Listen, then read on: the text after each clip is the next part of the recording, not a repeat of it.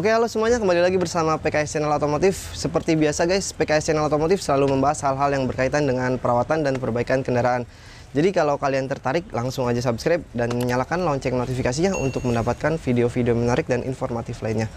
Oke guys kali ini kita lagi kembali ngerjain nih perbaikan kebocoran oli mesin di mesin 1TR Innova bensin. Nah ini Innova yang lagi kita kerjain ini Innova tahun 2012 guys. Mesin 1TR dan trouble-nya itu adalah kebocoran oli mesin di bagian cover timing, crankcase, dan juga carter. Nah, untuk perbaikan kebocoran oli mesin ini di area mesin 1TR, pengerjaannya yang kita ganti itu adalah sealant di cover timing karena sealantnya udah getas, dia nggak bisa nahan lagi debit oli mesin, makanya rembes ya. Jadi kita sealant ulang cover timing, lalu seal cover valve dan seal busi kita ganti juga. Lalu Carter. Di Carter itu pakai silen juga kita silen. Nah, ada sedikit perbedaan antara mesin 1TR dengan transmisi manual dan juga transmisi matic ya. Karena kalau transmisi matic itu kalau misalnya bagian persambungan mesin dan transmisinya bocor itu kita perlu juga ganti seal crankshaft belakang dan seal input. Tapi kalau transmisi manual misalnya di persambungannya itu bocor kita hanya cukup mengganti seal crankshaft belakang. Nah, kebetulan di Innova yang lagi kita kerjain ini di bagian persambungan antara mesin dan transmisinya itu nggak rembes jadi nggak perlu ada penggantian. Untuk kali ini pengerjaan kita hanya perbaikan kebocoran oli di area mesin ya. Jadi cover timing, crankcase, carter dan cover valve yang kita kerjain. Oke guys jadi seperti apa proses pengerjaannya? Terus ikutin video kita bersama PKS Channel Otomotif. Yuk Yuk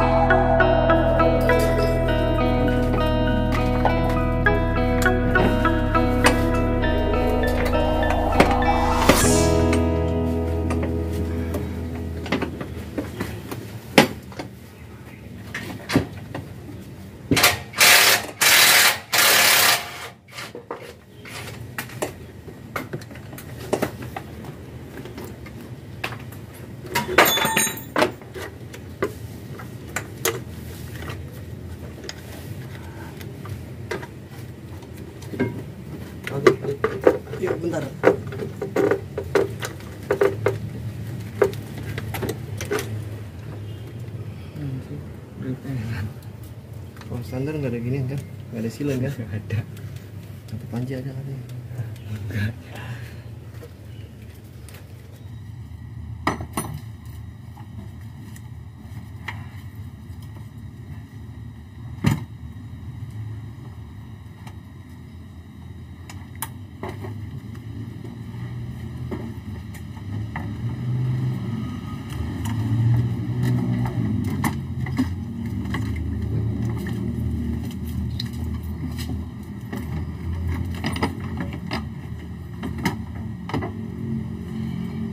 Oke guys, jadi kita udah mulai ngerjain perbaikan rembesan oli mesin. Ini kita udah bongkar cover timing, crankcase dan juga cutter. Untuk cover timingnya ini masih proses, tinggal buka baut terus lepas cover timing. Nah, jadi kondisi kebocoran oli mesinnya kayak gini nih guys. Cukup parah. Sampai berlumpur di bagian cover timing. Nih itu. Ya, ini cukup parah kebocoran oli mesinnya. Tuh.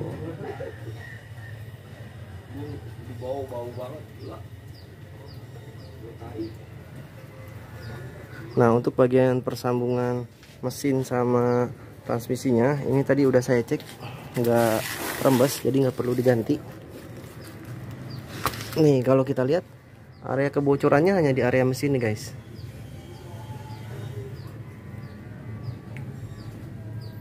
tuh ya jadi di persambungan sana itu nggak ada rembesan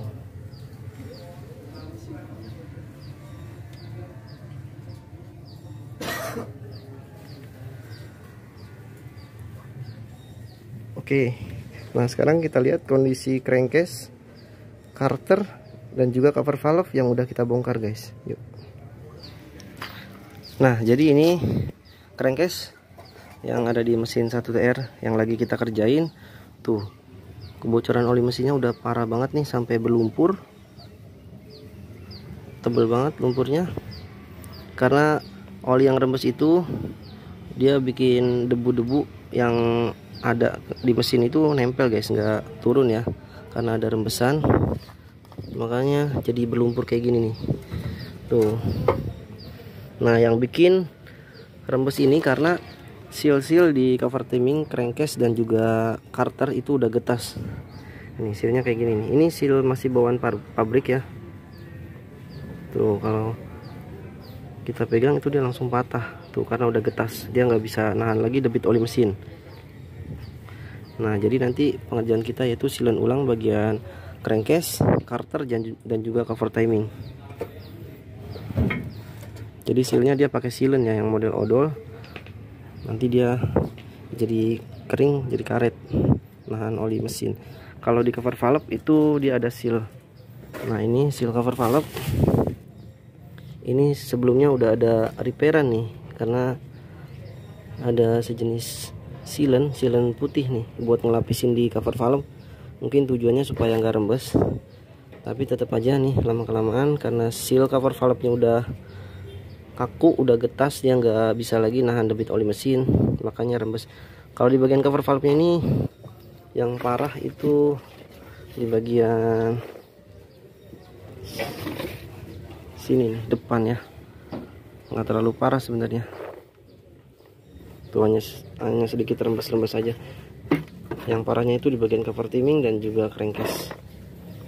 Nah jadi sekarang kita proses dulu pengerjaannya kita lepas tuh cover timing yang masih nyangkut terus kita bersihin dulu nih cover valve crankcase dan juga carter nah ini part-part yang kita lepas nih buat nurunin cover timing crankcase dan juga carter ini ada fully water pump ini coil stick oli throttle body kita lepas alternator ini tensioner kena efek juga nih dari rembusan oli mesin dan juga ini intake manifold kita lepas. Oke okay, guys kita bongkar dulu yuk.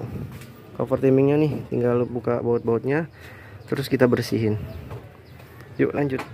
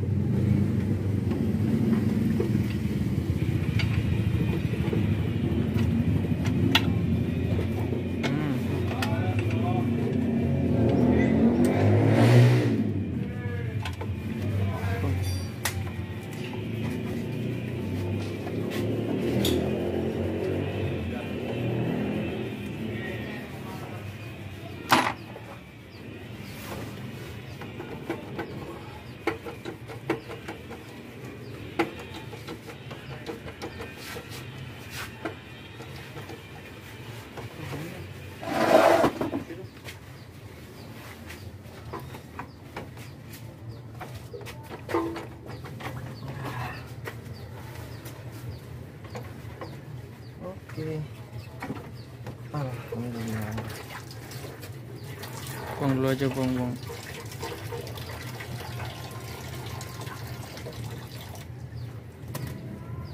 Oh, sama. Oke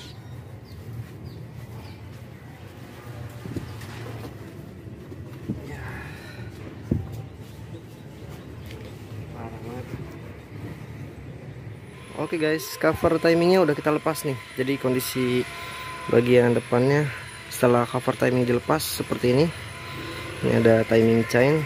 Nah nanti ini bekas silenan yang awalnya kita bersihin.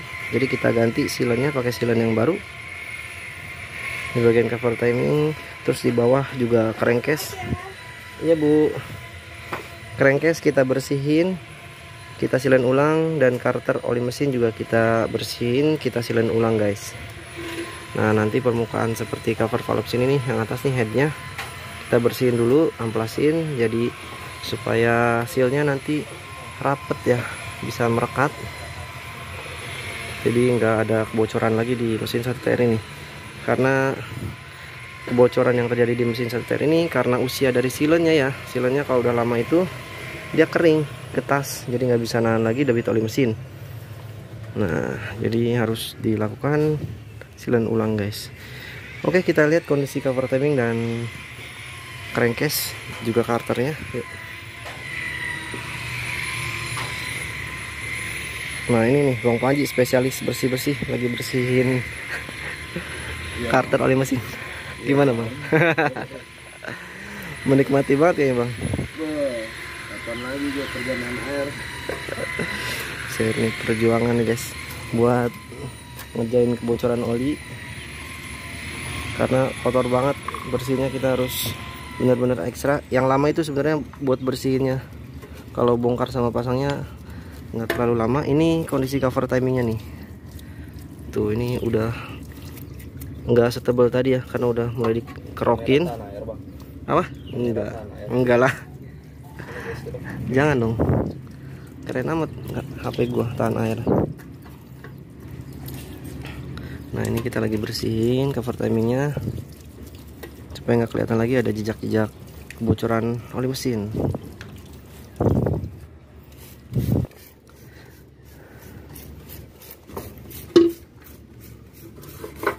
crankcase mana bang? Oke ini crankcase nih. Tadi udah dicuci pakai sabun nanti tinggal finishing di krok ya pakai sikat kawat. Sampai bekas-bekas silennya ini nih bersih.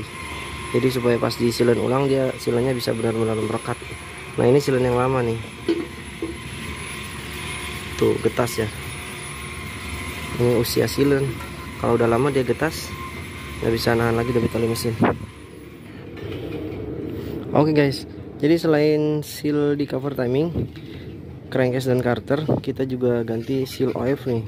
Karena seal OF-nya ini udah getas keras. Jadi kalau nggak diganti sekalian nih dia bisa nyusul, rembes juga. Nah, ini adalah seal OF-nya. Dia cuman o-ring ya bentuknya, karet. Harganya juga nggak begitu mahal. Nah, jadi karena karetnya ini udah getas nih. Tuh dia keras nih. Tuh kerasnya getas. Jadi bikin oli mesinnya rembes. Makanya kita sekalian ganti juga o-ring OF ini. Tuh betasnya oke guys. Jadi ini karter crankcase udah kita bersihin cover timing juga udah kita bersihin. Ini memang kondisi awalnya udah kotor banget ya. Jadi kita pembersihannya sudah maksimal seperti ini. Nah ini seal crankshaft depan kita ganti juga nih. Jadi sekalian ganti seal crankshaft depan terus seal OF oli filter. Ini kita ganti ini udah saya bersihin. Nah ini seal oli filter yang baru nih guys. Nah nanti dipasang aja sing oli filternya sealnya diganti. Ini adalah seal cover valve dan seal busi. Terus ini seal 4 yang ada di cover timing.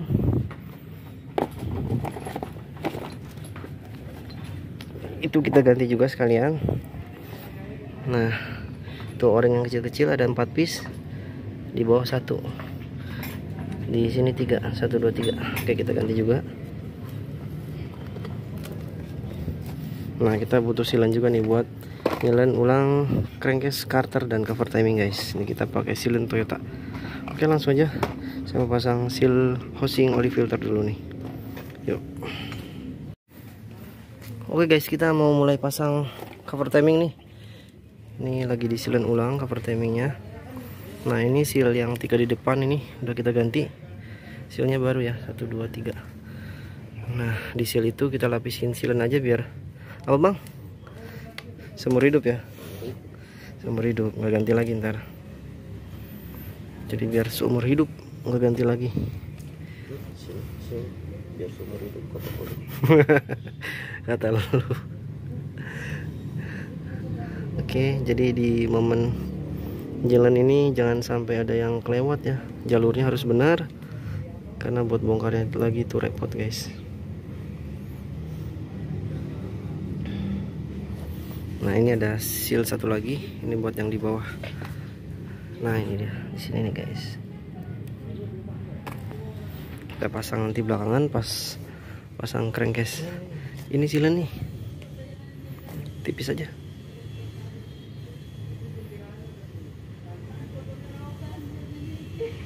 oke tadi kita udah latihan pasang. Udah diresik sekarang lanjut pasang yang sebenarnya guys. Yuk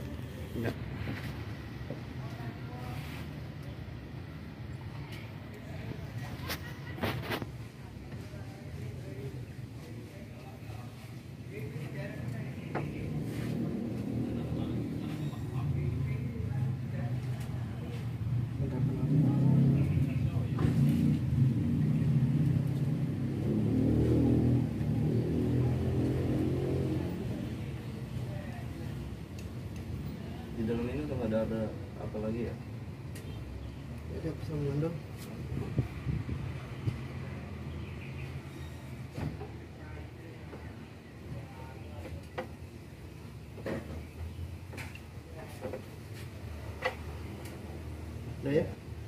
Yuk, satu, dua, tiga. Sip.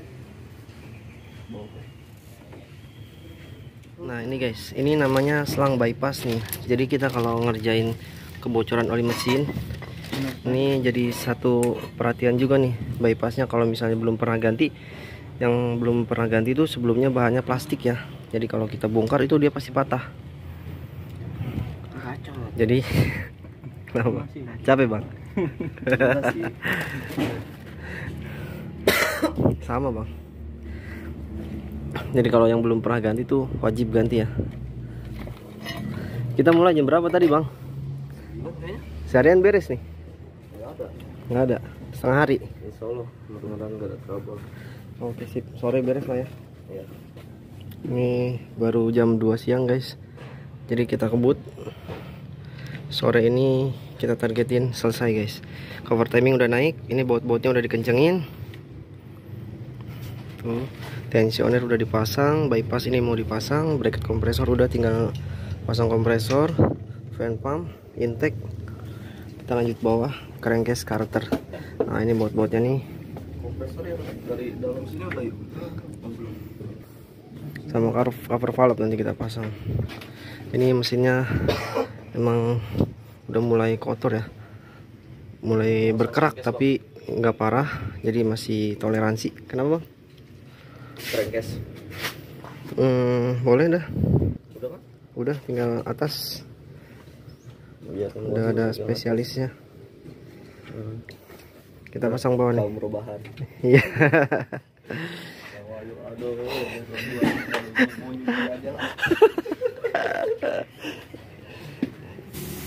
oke guys lanjut. Sekarang mau masang crankcase nih. Udah di silen. Tinggal naik. Yuk lanjut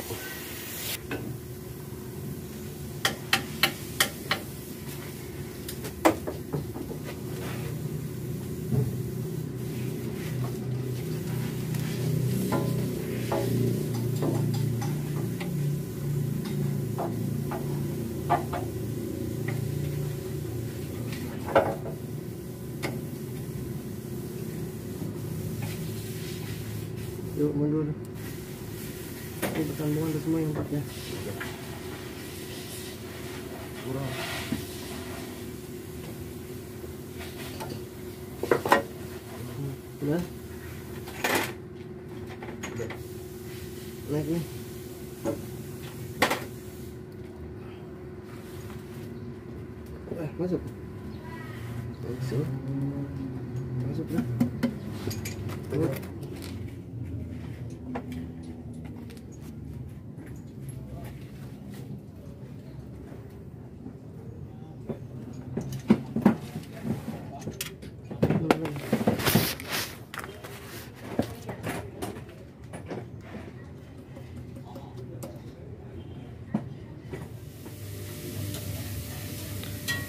Oke guys, sekarang kita mau pasang cover valve nih. Sealnya udah diganti pakai seal baru. Jadi di sini ada seal cover valve sama seal busi yang tengah nih. Oke, kita pasang dulu cover valve-nya.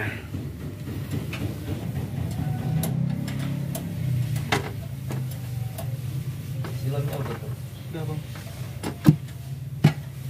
Oke sih. Ini guys, cover timing udah bersih sekarang ya. Tuh, kinclong.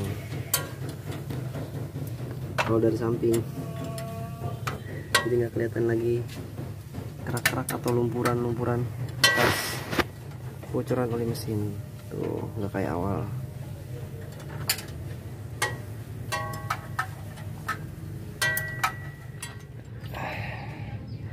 Nah, jadi kita ada sedikit tambahan pekerjaan nih guys karena panci oli metiknya rembes juga kita mau ganti gasketnya. Eh enggak ganti nih kita silen gasketnya guys. Ini lagi dikuras dulu oli metiknya. Tuh. Biar seumur hidup. biar seumur hidup karena spare partnya nggak ready nih dadakan oke lanjut. Oke guys jadi ini karter oli metik. Ada sedikit permintaan tambahan karena rembes di bagian gasket karter oli metik ini. Jadi ada permintaan untuk penggantian gasket karter oli metik tapi karena spare partnya nggak ada nih ya karena dadakan jadi kita mau silen ulang. Dikasih silen aja di bagian sini nih dilapisin silen di atas gasketnya nih. Karena ini udah bocor lumayan parah. Jadi supaya sekalian kita silen aja tuh. Ya oke kita bersihin dulu pancinya baru kita pasang pakai gasket terus di double silen silen Toyota anti bocor-bocor iya bang nah oke guys jadi ini kita lapisin silen ya di atas gasketnya tuh kayak gini nih Atas bawah. atas bawah dikasih semua bang. Oke, seumur hidup dong. hidup. Oke guys, alhamdulillah pekerjaan kita kali ini udah selesai nih. Sekarang kita mau starter, oli mesin, RLC udah diisi, juga udah diisi.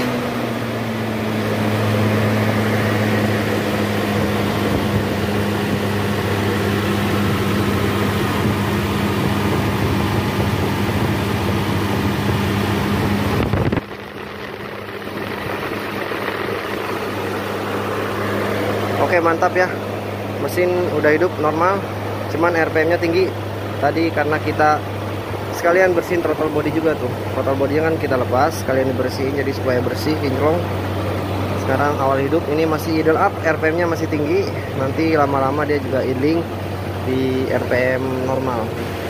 Kalau misalnya masih Nyangkut masih naik masih tinggi Kita bisa reset manual dari Fuse ETCS dan Fuse FV guys. Nah ini udah mulai turun nih. Sekalian kita cek juga Area mesin Semuanya apakah sudah oke? Nggak ada lagi kebocoran oli mesin. Hmm, Kalau saya lihat sih aman semuanya nih. Bagian cover timing juga kering.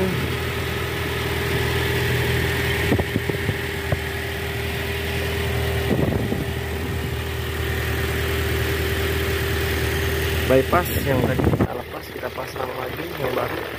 Kita ganti. Karena kata bapaknya sekalian ganti lagi aja nggak apa-apa selang bypassnya walaupun udah besi karena beliau ada stok. Nah, di bagian bawah gimana nih? Bawah aman bang. Bawah aman. Apa? bawah aman. Aman. oke.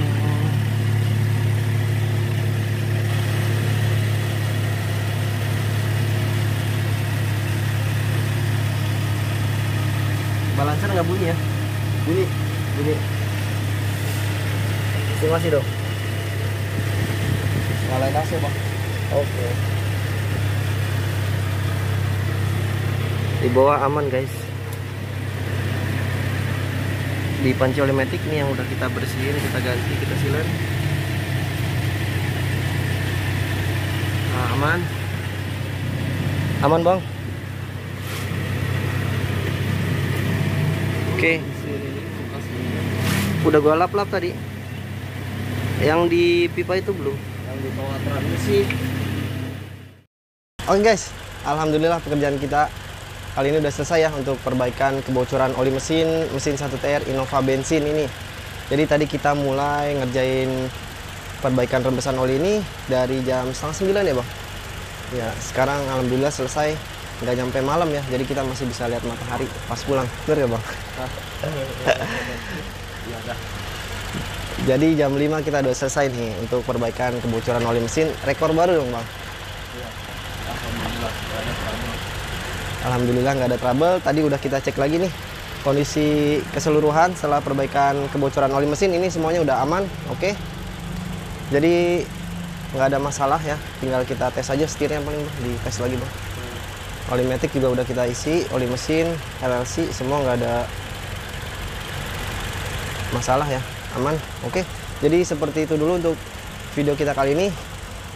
Apabila ada request service atau perbaikan kebocoran oli mesin nih, pengerjaan JR, penggantian balancer shaft bisa hubungi nomor kita di deskripsi.